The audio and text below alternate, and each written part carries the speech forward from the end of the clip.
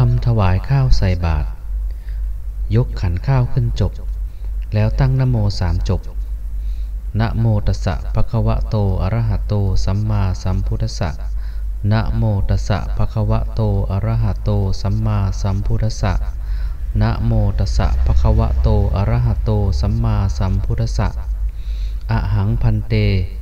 โภชนานัง สาลีนัง ปริสุทธัง พุทธสาวกะ